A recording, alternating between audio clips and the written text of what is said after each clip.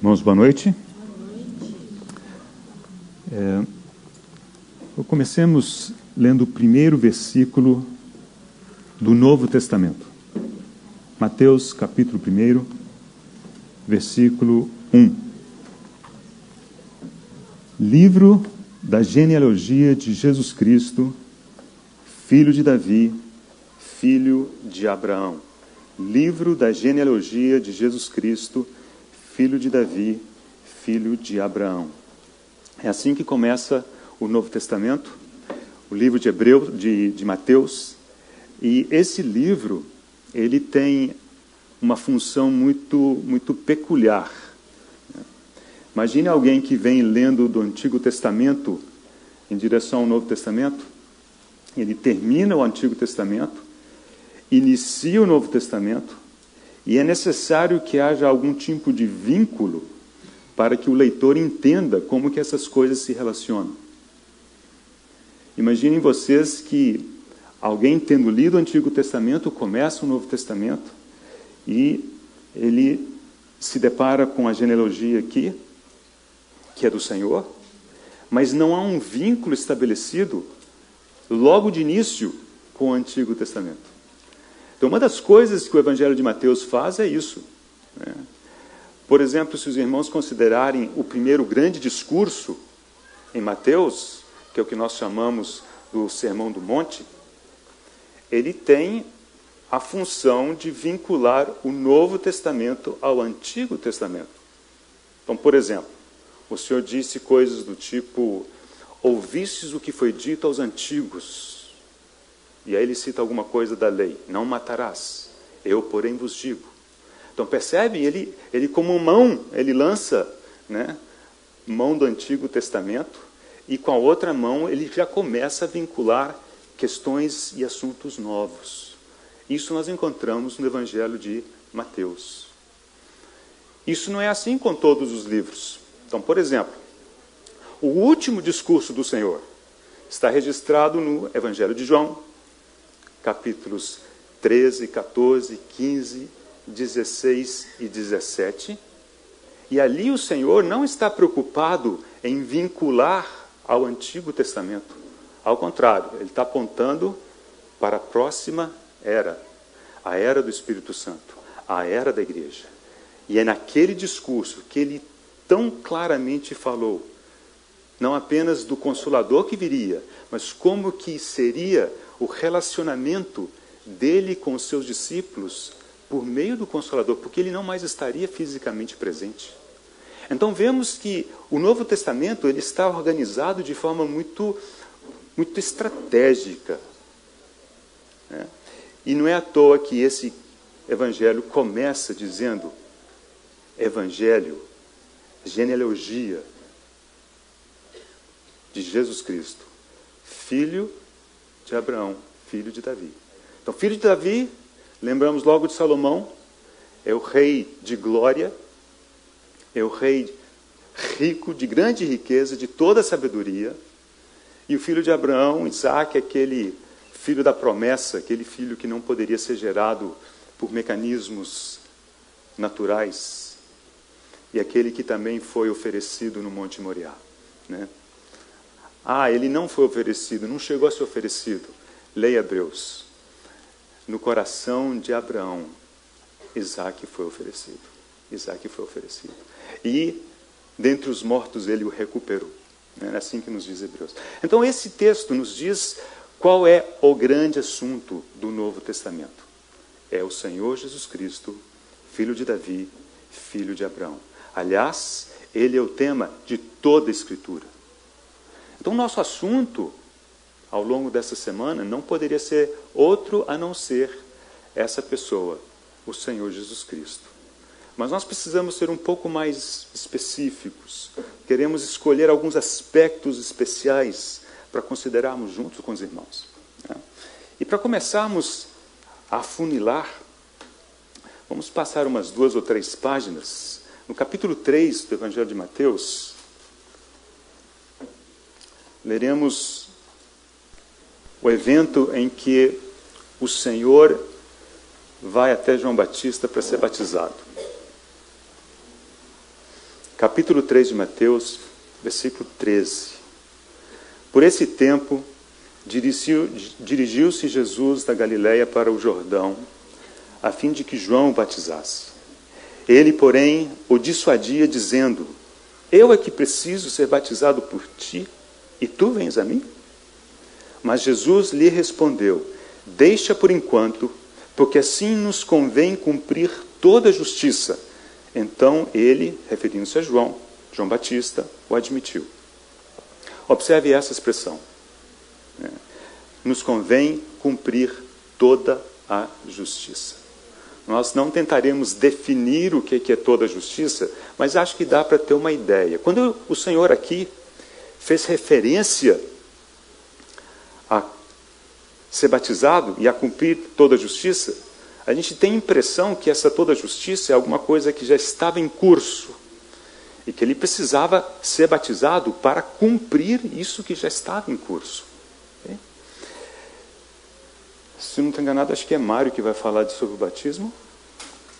E um dos aspectos importantes do batismo, e Mário explicará isso bem para a gente, é que no batismo o Senhor ele se identificou com a raça humana. Mas se pararmos para pensar, essa é uma segunda fase da identificação do Senhor com a raça humana. A primeira, necessariamente, é a encarnação. Ele não poderia ser batizado a menos que se tornasse homem, a menos que ele nascesse para dentro da raça humana. Então aqui toda a justiça, ela praticamente ou implicitamente exige a encarnação. E o Senhor mesmo disse: Olha, eu preciso ser batizado para cumprir toda a justiça. Mas que mais que essa justiça, toda justiça, inclui? Romanos. Vamos abrir Romanos capítulo 10. Então, por enquanto, temos explicitamente o batismo, implicitamente a encarnação. Romanos capítulo 10. A partir do versículo 9.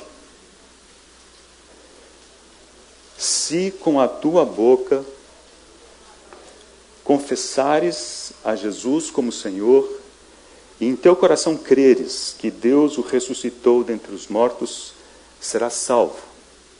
Então, observe aqui ao confessar e ao crer. Especificamente com respeito ao crer, diz que é crer que Deus o ressuscitou dentre os mortos.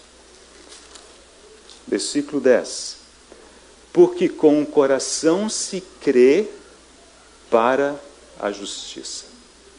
Então observe que esse texto ele vincula o crer do coração à justiça e o crer do coração à ressurreição dos mortos. Do Senhor Jesus Cristo, dentre os mortos. Então a justiça inclui também a ressurreição do Senhor. E por fim, Evangelho de João, capítulo 16.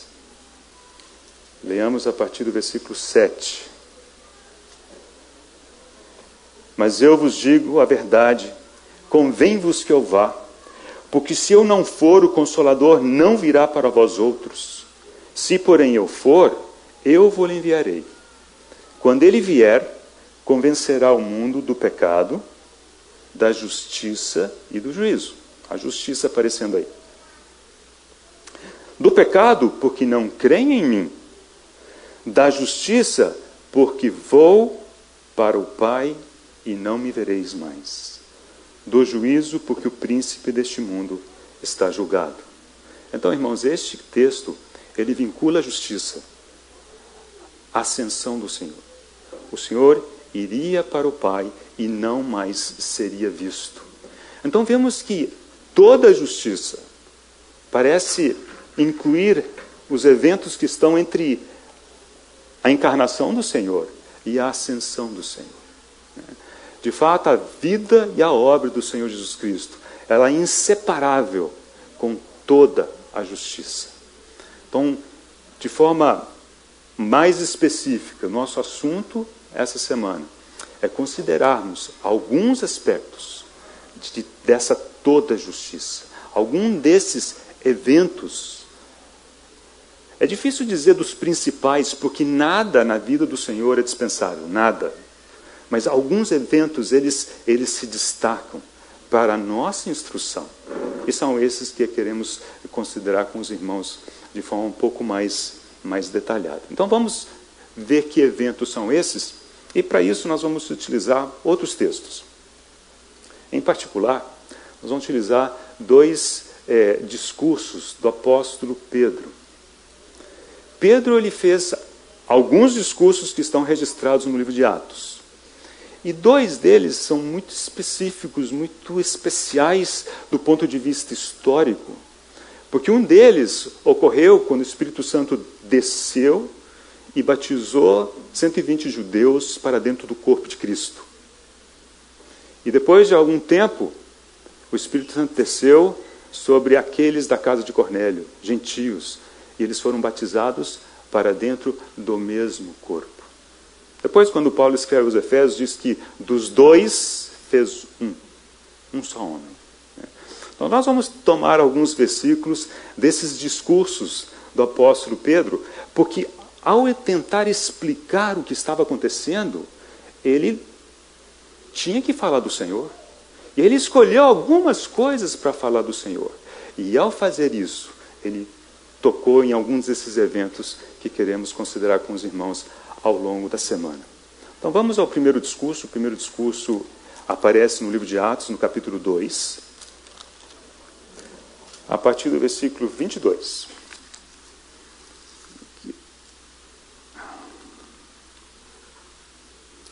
Varões israelitas, atendei a estas palavras. Jesus, o Nazareno. Quando a palavra diz Jesus o Nazareno, ela está chamando a atenção para o fato de Jesus ser o homem. Jesus, o homem de Nazaré.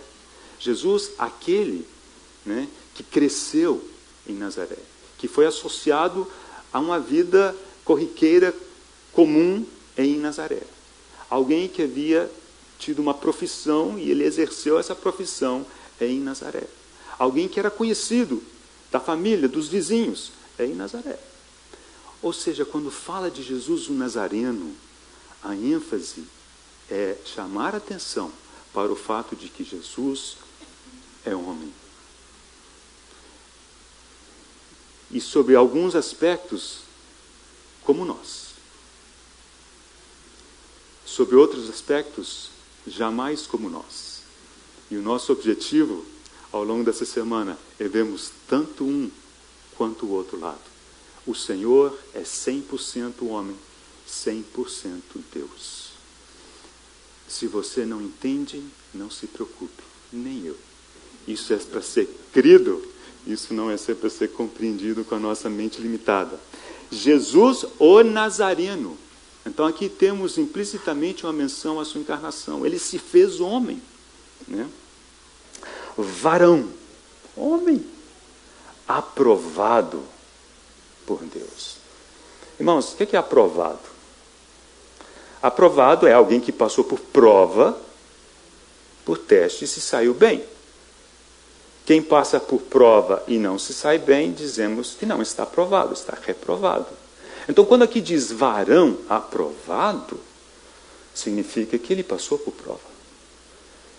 Ele não apenas passou, mas foi bem sucedido na prova. Né?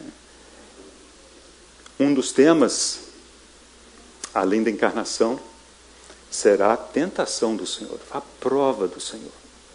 E como nos será explicado, o Senhor não foi tentado apenas naquele momento. Ele foi tentado ao longo de toda a sua vida, à nossa semelhança, mas sem pecado.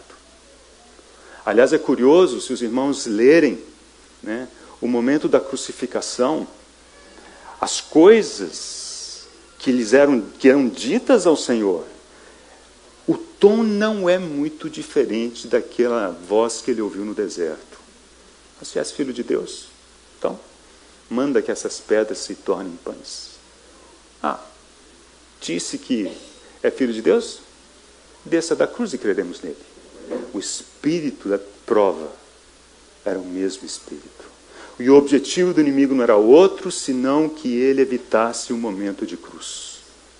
Porque foi naquele momento como nos explica Paulo em Colossenses, que ele expôs o inimigo ao desprezo, triunfando deles na cruz.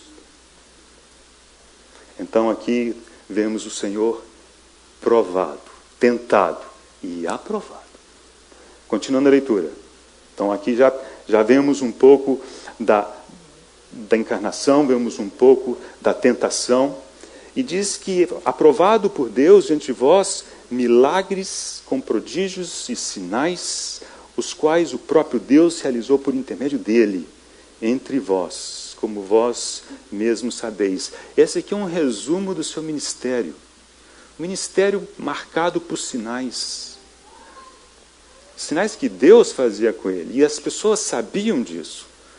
Os irmãos lembram quando ele conversou com Nicodemos.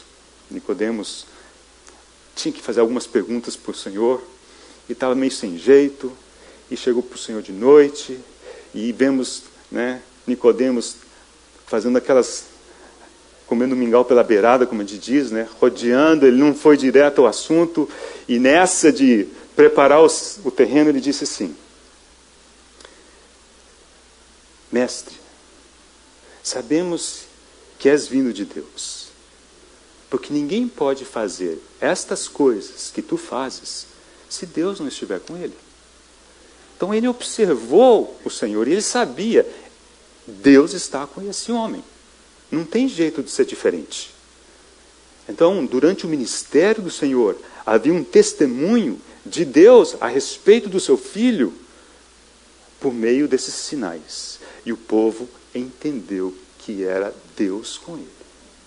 Mas, ao longo de todo esse ministério, houve um momento específico, o ápice, o clímax do seu ministério, em que Deus, como que permitiu que ele tivesse, né, o véu que cobria a glória do Senhor fosse baixado por uns poucos momentos, para que seus discípulos o contemplassem em glória. Essa é a transfiguração é o ápice, o ponto mais alto, sobre certos aspectos, do ministério do Senhor. Mas o texto prossegue e diz: sendo este entregue pelo determinado desígnio e presciência de Deus, vós o mataste, crucificando-o por mãos de iníquos. E aqui temos a menção clara, direta da crucificação do Senhor. Versículo 32. Ainda são palavras de Pedro no mesmo discurso. A este Jesus Deus ressuscitou, do que todos nós somos testemunhas. Exaltado, pois, a destra de Deus, tendo recebido do Pai a promessa do Espírito Santo, derramou isto que vedes e ouvis. E assim ele se move na direção da conclusão de que uma explicação do que, que havia acontecido naquele dia. Então vemos nesses últimos versículos a menção explícita à crucificação, a ressurreição e a ascensão. Mas nesse texto está difícil de vermos né, um aspecto importante que apareceu lá em Mateus 3, quando o Senhor diz: convém-nos cumprir toda a justiça que, que era isso mesmo? Qual que faltou? Me ajuda a ajudar. O batismo. Não é isso? Então, nós vamos pegar isso no outro discurso de Pedro, agora na casa de Cornélio, capítulo 10 do livro de Atos. Atos, capítulo 10. Aqui nesse texto, se os irmãos lerem, conseguirão reconhecer reconhecer vários daqueles, daqueles eventos.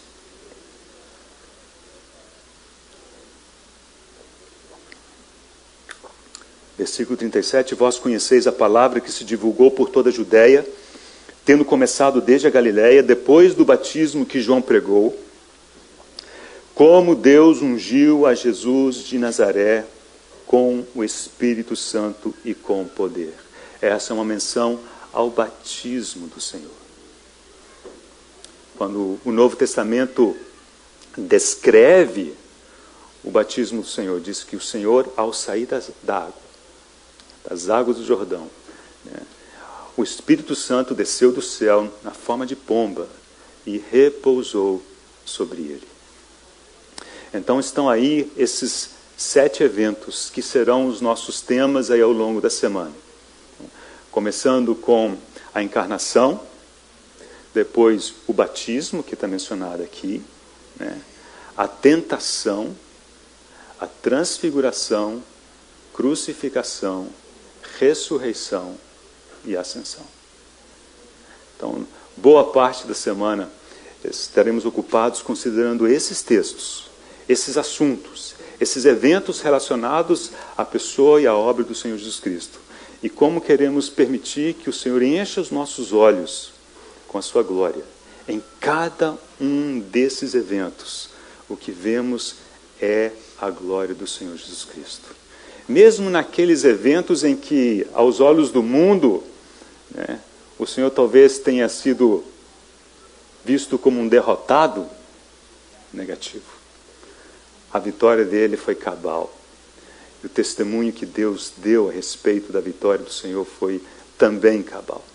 Então, se o Senhor nos permitir, é isso que faremos nas sessões das duas da manhã, as duas sessões da manhã e a sessão à noite. E à tarde, né, o Lawrence já mais ou menos antecipou, ele estudará conosco né, os evangelhos e ele fará uma abordagem tríplice. Fará uma abordagem sintética, uma abordagem analítica, uma abordagem cristológica. Né? Feito isso, haverá tarefas para realizarmos também, porque, como ele bem explicou, trata-se de é, um treinamento. Né? Mas ninguém precisa ficar preocupado ou nervoso né, com esses, essas tarefas e esses deveres de casa. Muito bem? Ok, mas uma das coisas que nós precisamos fazer, então, antes de entrarmos propriamente é, nesses temas, nesses eventos, que aliás já antecipo, o primeiro será né, o irmão Cláudio na segunda sessão da manhã, de amanhã, que é a encarnação, nós precisamos responder a uma pergunta. Por que, que o Filho de Deus precisava vir e passar por esses eventos? Por que, que ele precisava se encarnar? Por que, que ele precisava ser batizado, ser provado, ser aprovado, ser transfigurado? Né? Por que, que ele precisava ser crucificado, verter o seu sangue? ele não se ressuscitou. Deus o ressuscitou dentre os mortos. E eu vou ousar dizer por que, que Deus precisava ressuscitá-lo dentre os mortos. E depois, ele foi elevado às alturas.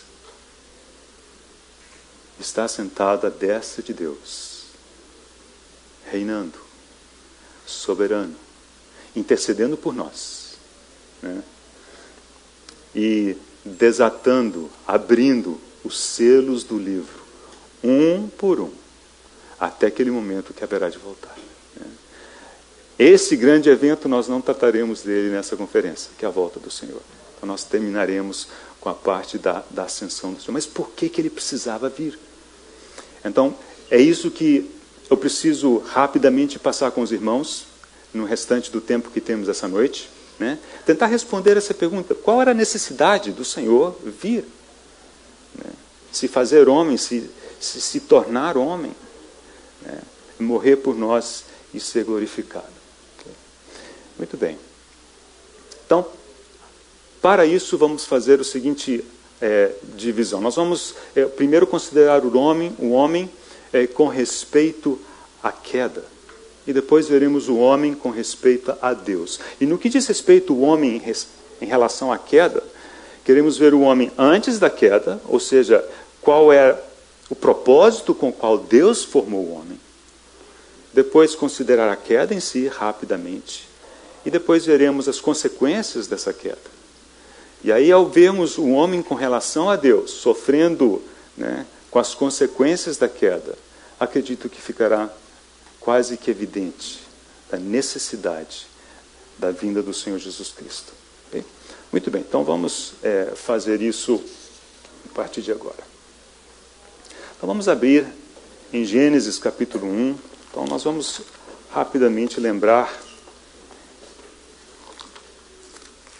da criação do homem, de qual propósito que Deus tinha no coração ao criar o homem. E nós faremos. É, aqui eu vou escolher alguns aspectos apenas para trazer para os irmãos, de maneira a nos ajudar a, a, a guiar. Aqui não, não há como fazermos isso de forma exaustiva. Capítulo 1, versículo 26. Também disse Deus: façamos o homem à nossa imagem, conforme nossa semelhança, tenha ele domínio sobre os peixes do mar, sobre as aves do céu, sobre os animais domésticos, sobre toda a terra e sobre todos os répteis que rastejam pela terra. Criou Deus, pois, o homem à sua imagem, a imagem de Deus o criou. Homem e mulher os criou. Então aqui temos uma declaração de Deus dizendo: olha, vamos fazer o homem. E o que deve caracterizar esse homem é que ele seja a imagem e semelhança de Deus. Se eu não estou enganado, foi o irmão Joseph Parker que ele fez a seguinte observação: olhe para o homem fora. Caído, corrupto, envergonha qualquer outro homem. E a Bíblia começa dizendo que ele é imagem de Deus, que Deus é esse. E ele diz: olha, se alguém não explicar, esse é o fim da Bíblia seria aqui. Tem que haver uma razão. Como é que Deus tem uma imagem como essa que nós vemos? Muitos de nós sequer aceitaríamos que fosse a nossa imagem, quanto menos a de Deus. E Deus diz que Ele fez o homem à sua imagem e à sua semelhança. Mas antes da gente entrar nisso, já para relaxar os irmãos um pouco, que essa afirmativa do, do irmão Parker meio forte, abra no capítulo 5 de Gênesis. Observe como começa o capítulo 5 de Gênesis. Parece que tem uma, uma pequena retrospectiva, nos lembrando do capítulo 1, mas ele vai um passo além. Gênesis 5:1. Este é o livro da genealogia de Adão. No dia em que Deus criou o homem, a semelhança de Deus o fez. Então aqui ele repete isso. Homem e mulher os criou e os abençoou e lhes chamou pelo nome de Adão, no dia em que foram criados. Versículo 3: Viveu Adão 130 anos e gerou um filho à sua semelhança. Já não era mais a semelhança de Deus. Percebe isso? Isso é chave. Porque quem foi criado à imagem e semelhança de Deus, em princípio, foi Adão. O filho de Adão foi foi gerada a semelhança de Adão. Mas nesse meio de tempo, Adão havia pecado. E esse é o problema, essa é a razão, é a justificativa para essa distorção tão forte né, que houve nesse aspecto da imagem de Deus ser um homem. Então nós precisamos considerar esse aspecto com carinho e para isso nós vamos começar com um exemplo que, vindo da boca do Senhor, não poderia ser melhor. Não é isso? Mateus capítulo 22. Abram comigo, por favor. Aqui temos aquela conversa do Senhor quando questionado a respeito do tributo. Versículo 17 do capítulo 22. Diz-nos, pois, que te parece? É lícito pagar tributo a César ou não? Jesus, porém, conhecendo-lhes a malícia, respondeu: Por que me experimentais, hipócritas? Mostrai-me a moeda do tributo. Trouxeram-lhe um denário E ele lhes perguntou: De quem é esta efígie em inscrição? Responderam: De César. Então disse-lhes: Dai, pois, a César o que é de César e a Deus o que é de Deus. Essa palavra efígie, que foi traduzida por efígie, a palavra grega é eikon. E essa palavra eikon normalmente é traduzida por imagem. Então veja o que aconteceu aqui. Quando questionado o Senhor sobre se era lícito não pagar tributo a César, ele diz: Bom, traga-me a moeda do, do tributo, denário. E ali havia essa imagem, aquela efígie.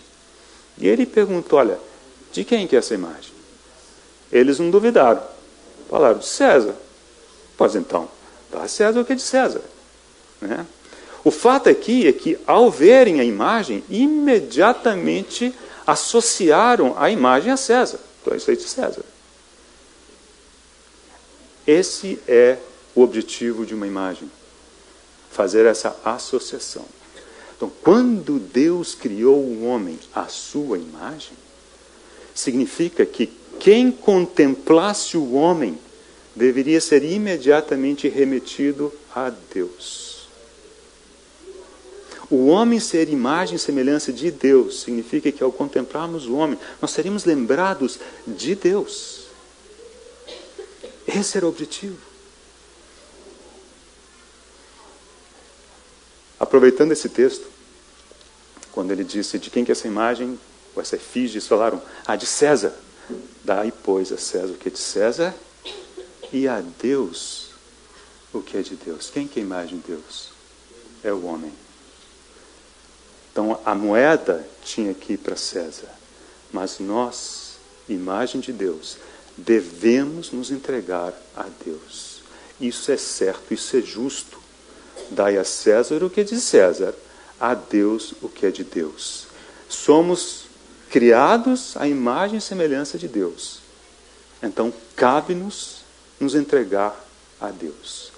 É justo que as pessoas, ao nos contemplar, nos verem nas nossas ações do cotidiano, sejam remetidas à pessoa de Deus. De forma consciente ou inconsciente, já não nos cabe isso. Mas esse é o plano, esse é o projeto de Deus.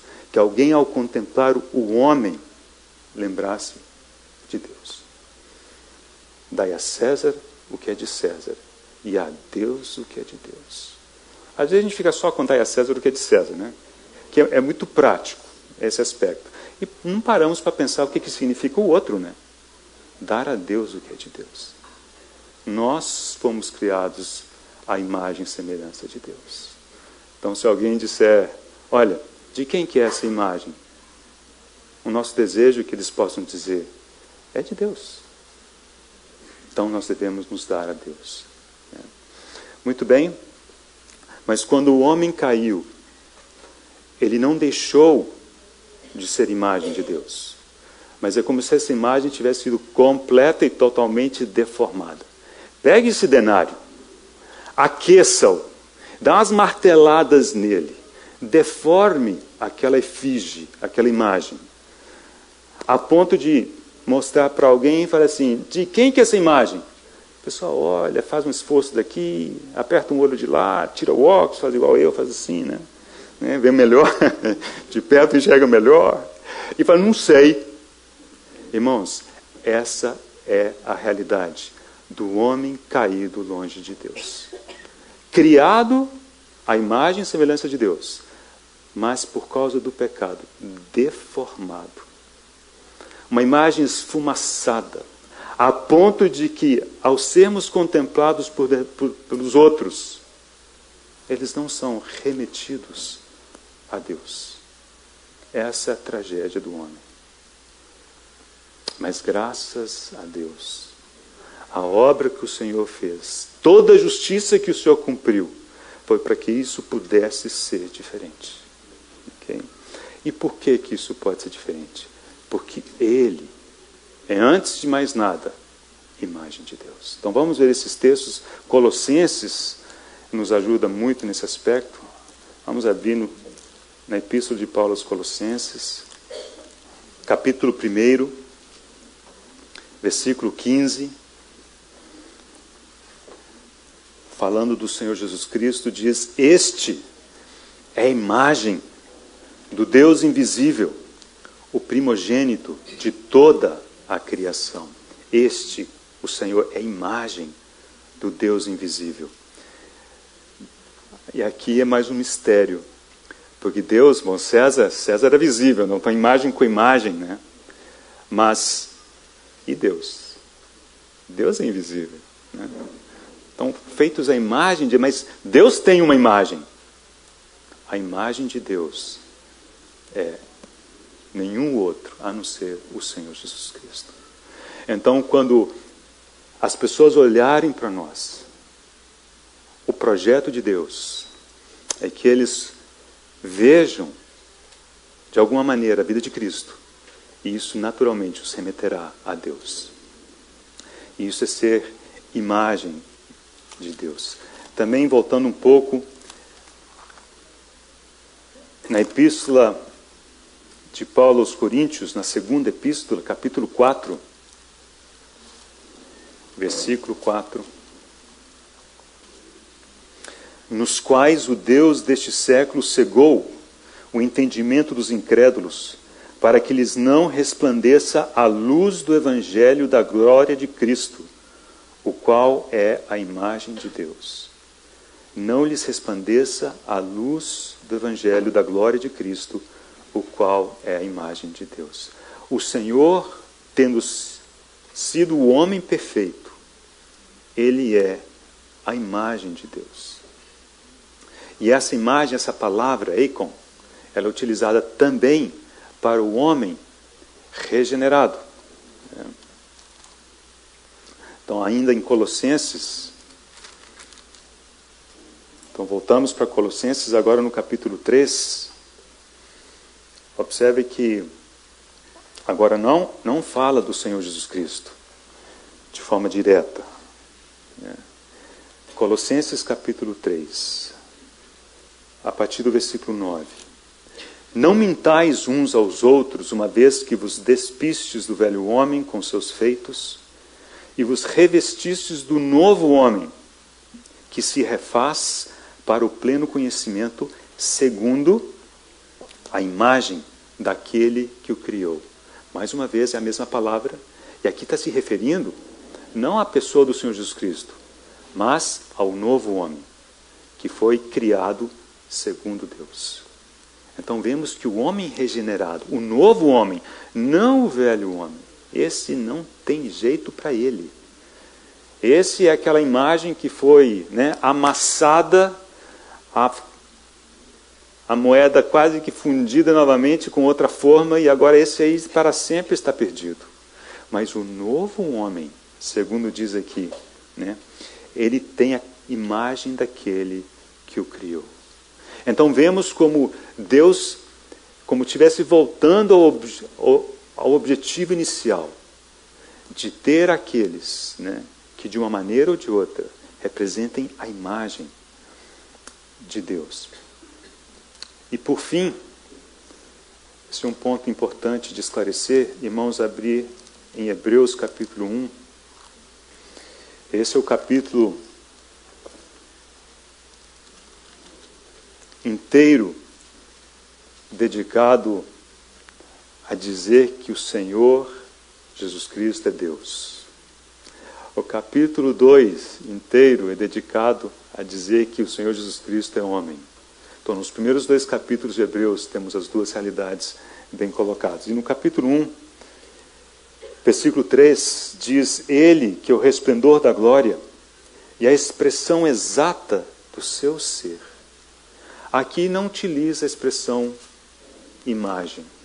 Essa expressão exata, a palavra é caractere.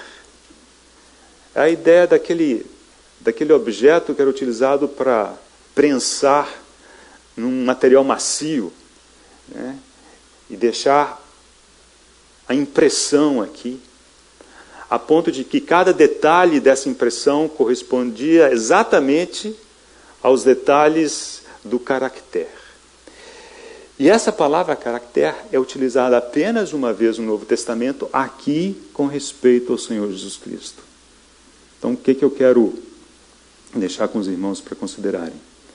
Enquanto homem, ele é a imagem de Deus. E nós, o nosso novo homem, deve também trazer essa imagem.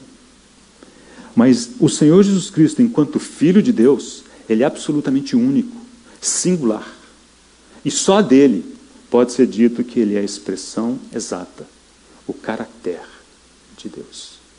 Então, mais uma vez, vemos o Senhor no aspecto dele como homem, se identificando conosco, sendo o primogênito dentre muitos irmãos, mas, por outro lado, o único Filho eterno de Deus. O homem foi criado espírito, alma e corpo. Com o espírito ele comungava com Deus.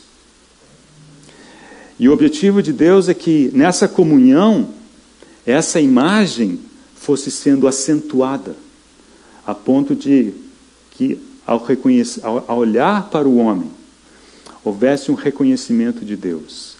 E os irmãos lembram que quando ele criou, ele disse: tenha ele domínio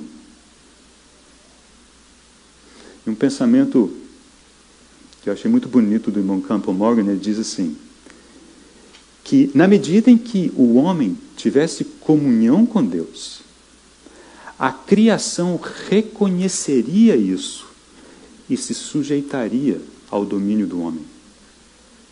O domínio do homem planejado por Deus jamais seria um domínio que o homem teria que lutar por ele, teria que impor, não, jamais. Mas ao comungar com Deus, a criação reconheceria no homem a autoridade de Deus, a imagem de Deus, e voluntariamente se sujeitaria ao domínio do homem. E o homem teria domínio sobre os peixes do mar, as aves do céu, os animais domésticos, sobre toda a terra e sobre todo réptil que rasteja pela terra. Agora, o homem caído, e aí está a tragédia, ainda quer esse domínio. Mas os métodos não são os métodos de Deus. E acabam sendo o domínio pela força, o domínio pela insistência e por tantos outros métodos que definitivamente não são pelo fato de ele estar em comunhão com Deus e ser a imagem de Deus. O homem também foi feito alma, e na alma temos a inteligência do homem, temos a vontade do homem, temos os desejos, os sentimentos do homem. Né? E claro, tendo caído e o seu espírito tendo ficado desconectado de Deus. Porque os irmãos lembram que Deus disse no dia que dela comeres, referindo à árvore do conhecimento do bem e do mal, certamente morrerás. Né?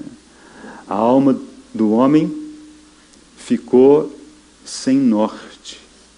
Deus criou o homem e o pôs no ambiente que ele pudesse desenvolver. Seu espírito em comunhão com Deus, aos poucos ganharia cada vez mais essa imagem, seria uma imagem cada vez melhor de Deus. Do ponto de vista da sua vontade, a vontade do homem é uma coisa tão central a ele que precisava ser treinada. Como é que você treina a vontade? Aliás, como é que você treina qualquer coisa? Exercitando aquele aspecto. Então, Deus desejava que o homem desenvolvesse a sua vontade. E como é que é a vontade? O que significa desenvolver a vontade no contexto de Deus? É alinharmos a nossa vontade à vontade de Deus. É querermos o que Deus quer, é não querermos o que Deus não quer. Foi assim que o Senhor ensinou seus discípulos a orarem. Venha o teu reino, seja feita a tua vontade, aqui na terra como é feita no céu. E o próprio Senhor nos deu exemplo. No Getsemane, quando ele orou ao Pai, disse: Olha, Pai, afasta de mim este cálice. Contudo, não seja o que eu quero, mas seja como tu queres. Então, o exercício da vontade do homem ele precisa acontecer. E precisa acontecer no sentido de alinhar a vontade à vontade de Deus. Não é suprimir a vontade. Não é ficar sem vontade. Isso um pé de alface. Um pé de alface não tem vontade. Mas Deus nos criou e temos vontade. O que Ele quer é que a nossa vontade se alinhe à vontade dEle. Nós não vamos falar de oração, mas o que é oração? Oração não pode ser nós tentando convencer Deus de algo, não é, irmãos? Mas muitas nossas orações soam assim. A nossa oração tem que ser a minha vontade sendo alinhada à vontade de Deus. Em oração temos que entender qual que é o coração de Deus. E em oração temos que dizer, Senhor, prevaleça. Prevaleça sobre a minha vontade. A tua vontade sim, a minha vontade não. Muito bem? Deus, no seu amor, no seu cuidado com o homem, sabendo que este homem precisava desenvolver e exercitar a sua vontade, tem que exercitar a vontade. Então, ele deu uma ordem. O objetivo é que ele aprendesse a dizer sim para Deus e não para sua vontade. Exercício. Então, ele plantou toda sorte de árvores no jardim, boas para a vista, boas para o alimento. Árvore do conhecimento do bem e do mal, né? E a árvore da vida. E plantou o homem no jardim também. E ele disse: Olha, desta árvore não comerás, porque no dia em que dela comeres, certamente morrerás. Essa era a prova, era o teste. Mas o, o objetivo do teste era o desenvolvimento santo do homem. A história os irmãos conhecem. E quando o inimigo veio e tentou Adão, nas entrelinhas o que ele estava dizendo era o seguinte: olha, Deus está restringindo a sua liberdade, a sua vontade. Né? Ele, como que colocou em dúvida a bondade e o amor de Deus. Né? E, nesse contexto, a mulher foi enganada e o homem comeu também. Ambos pecaram. Né? E a palavra de Deus, como sempre, ela se cumpriu. E eles morreram. Ah, não, espera aí, como é que morreram? Nós não acabamos de ler um capítulo 5. O espírito morreu. Morte significa separação. Até mesmo no nosso contexto, dizemos, fulano morreu, é, foi separado, ele não desapareceu, mas ele foi separado, ele não mais interage conosco.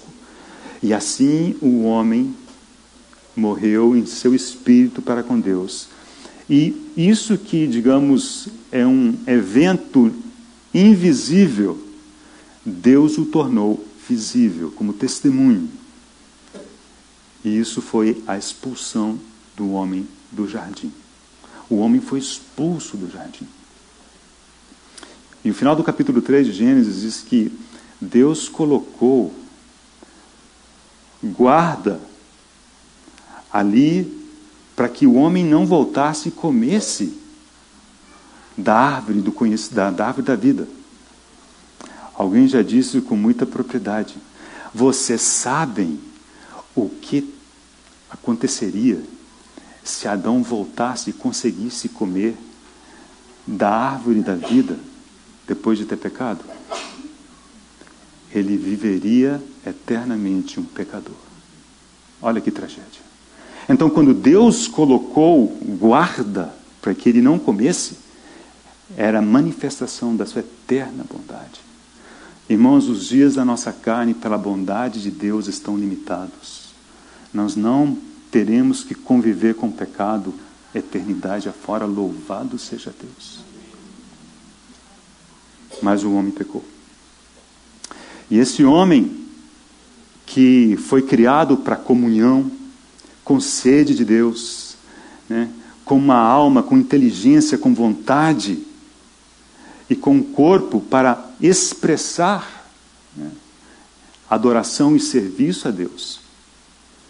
Quando ele caiu, seu espírito ficou desconectado de Deus, a sua alma ficou sem norte, porque o certo é a alma ficar sujeita ao espírito. Então a sua alma começa a fazer sua própria vontade, começa a se tentar se satisfazer né, nas coisas que não são de Deus, aí tem a origem o materialismo. Mas a tragédia é que o homem continua com sede daquilo que é eterno, daquilo que é de Deus. Mas ao mesmo tempo, ele é incapaz de comungar com Deus. O seu espírito, ele morreu. Então, vemos um paradoxo aqui. A inteligência espiritual do homem, ela ficou obscurecida. Paulo escrevendo aos Efésios, referindo-se aos, aos gentios, ele diz assim: obscurecidos no entendimento, alheios à vida de Deus, por causa das suas obras malignas, da dureza do seu coração, da ignorância em que vivem, obscurecidos. O homem ficou obscurecido, incapaz, incapaz de entender a Deus, de descobrir Deus. Mas ele tem esse desejo. O resultado disso é idolatria. O resultado disso é idolatria. Então vamos ler é, um texto no livro de Oséias. Abra comigo, por favor, Oséias, capítulo 13, versículo 2. Lemos assim: Agora pecam mais e mais, e de sua prata fazem imagens de fundição, ídolos segundo o seu conceito. Todos obra de artífices, e dizem: Sacrificai a eles. Homens até beijam bezerros. Ídolos segundo o seu conceito. Não é mais revelação de Deus. Agora é o homem criando coisas de acordo com a sua concepção de acordo com seu conceito, porque o, o entendimento espiritual deles é, se foi com a queda. E também Salmos, no livro de Salmos, capítulo 115, a partir do versículo 4. Prata e ouro são os ídolos deles, obra das mãos de homens. Tem boca e não falam, tem olhos e não veem, tem ouvidos e não ouvem, tem nariz e não cheiram. Suas mãos não apalpam, seus pés não andam, som nenhum lhes sai da garganta. Tornem-se semelhantes a eles os que os fazem e quantos neles confiam. Oséias diz: olha, eles fazem os, os ídolos de acordo com, a sua própria, com o seu próprio conceito. E Salmo 115 diz assim, que eles acabam se tornando como os próprios ídolos que eles constroem. Vocês percebem que virou um ciclo vicioso. O homem caído está num ciclo vicioso do qual ele em si mesmo não tem saída. Ele tem desejo, às vezes ele nem sabe disso, mas ele não consegue sair. Ele gera conceitos de Deus da sua própria mente, certamente distorcidos, faz ídolos, não necessariamente imagens físicas, mas ídolos os mais diversos. E acaba se tornando como eles. E daí ele não sai. Né? Observe essa frase do irmão Campbell Morgan, falando do homem caído. Diz: Sua inteligência ainda demanda luz, a sua emoção busca por alvos aos quais se apegar. A vontade requer um princípio governante. Em outras palavras, o homem demanda Deus. E dessa necessidade surge a idolatria. A alma do homem também ficou desgovernada. Deus é amor, e o homem ama, mas o amor do homem ficou autocentrado. Né? O Senhor, no Sermão do Monte, ele diz: Olha, se vocês amam aqueles que amam vocês, qual o benefício? Vocês são iguais aos hipócritas. Os hipócritas fazem a mesma coisa. Então, nessa palavra do Senhor, ele já nos mostrou quão egocêntrico é o nosso amor. Nosso amor é amar quem gosta da gente. Né? E quem não gosta da gente? No melhor dos casos, a gente procura ignorar. Né? No pior dos casos, é muito pior, né? Mas é tão mais fácil amar ou gostar de quem gosta da gente, não é? Por quê? Puro egocentrismo.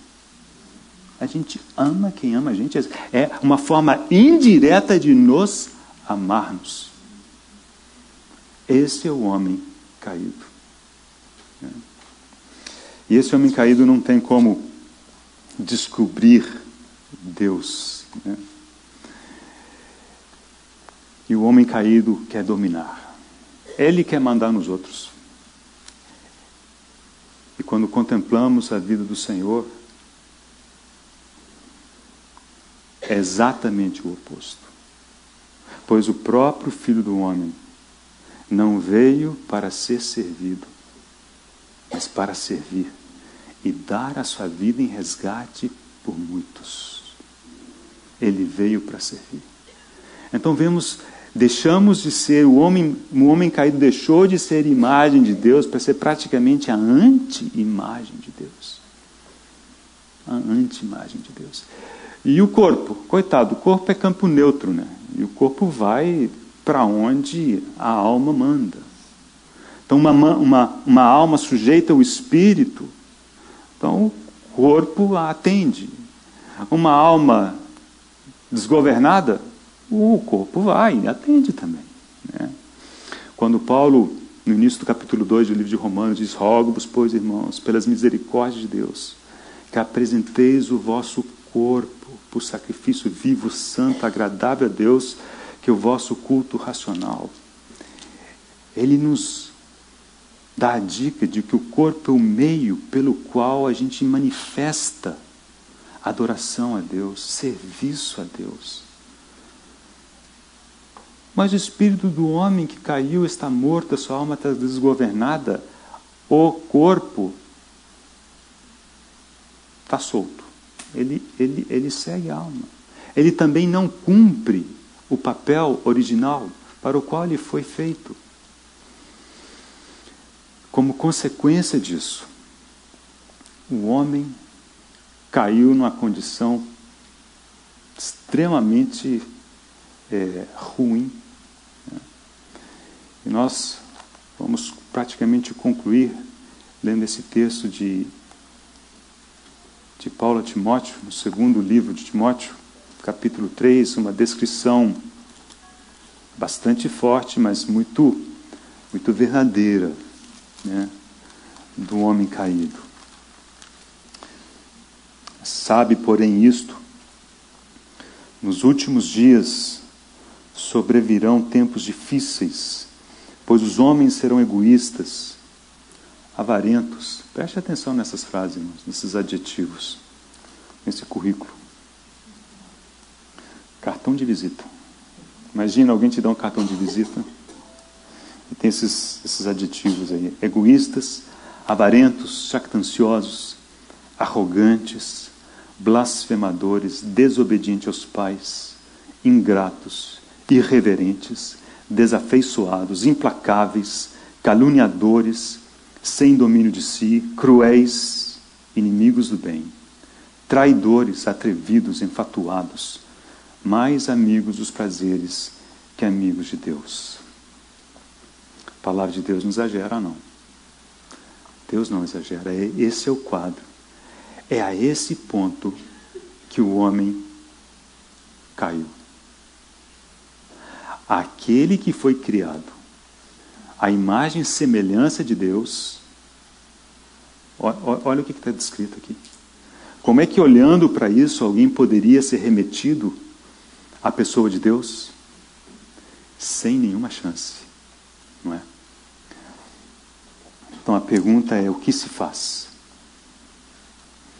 Que caminhos existem? Hipótese A. Ah, bicho. O troço tá feio.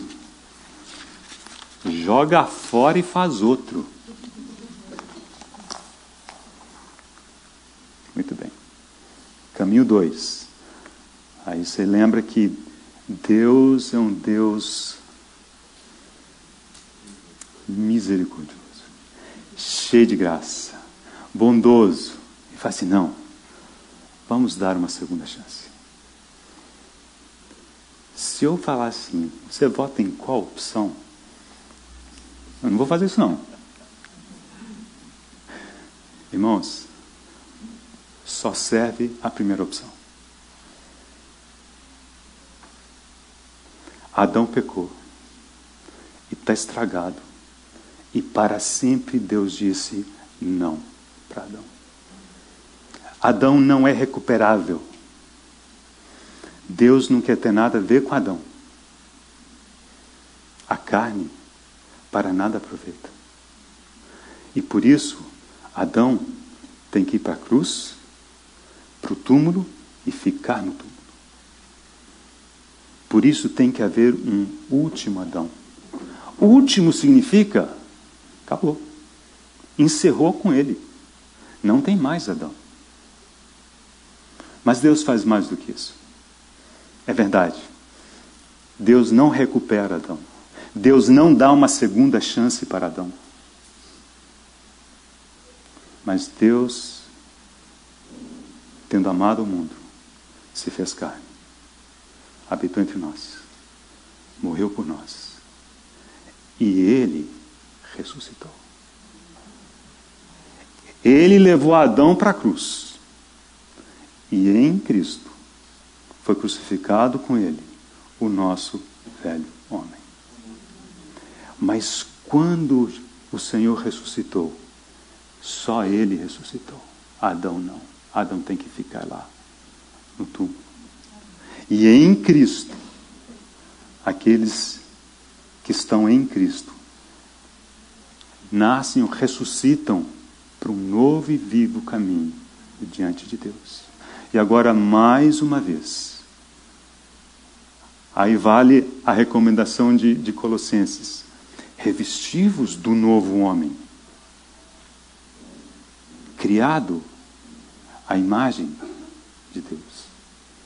Agora, esse novo homem em Cristo, mais uma vez, pode ser imagem de Deus.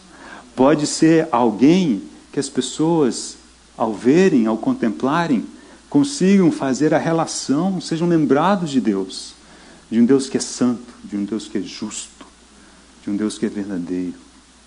Mas, irmãos, isso demandou uma tremenda obra que nós não temos noção. Né? Nós não temos noção. E pela bondade de Deus, ao olharmos a vida do Senhor nesses sete grandes eventos da sua vida, ao longo dessa semana, queremos ter um vislumbre do que que, de como que a Trindade se envolveu nessa obra que chama toda justiça, para trazer de volta a vontade de Deus para deixar Adão onde tem que estar, mas para dar um caminho para o homem. Mas esse caminho não se chama Adão melhorado.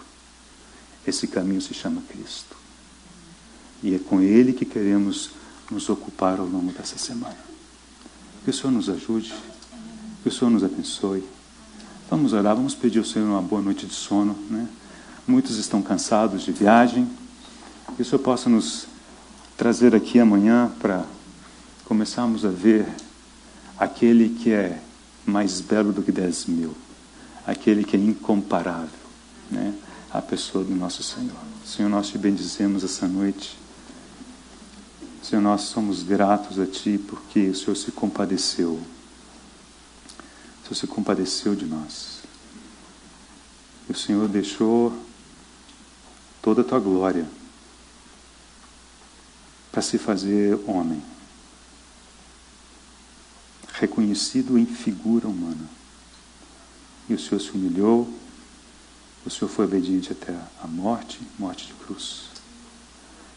Senhor, mas nós lembramos também que Por isso mesmo, o Pai te exaltou. E nós reconhecemos que não há ninguém como o Senhor. Senhor, se temos algum pedido nessa noite, é que ao longo dessa semana, pelo Teu Santo Espírito, o Senhor nos faça ver o Senhor mesmo. Atrai-nos, cativa-nos. Tu sabes a necessidade de cada um. Senhor, fala ao nosso coração. Nós te bendizemos porque grande é a tua bondade, grande é a tua paciência. Te damos graças pelas insondáveis riquezas de Cristo. Permite-nos, Senhor, tocar em algumas delas ao longo dessa semana. Oramos em teu santo nome. Amém.